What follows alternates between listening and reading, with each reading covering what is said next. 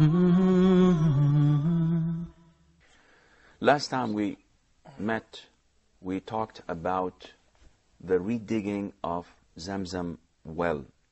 And one would ask, what is the importance of Zamzam well? What's so special about Zamzam that people are making so much fuss about and wanting to control it and to have the honor of giving access to it to the people. Zamzam is a sacred water. It is sacred water in the sense that the blessing of Allah Azza wa Jal is in Zamzam.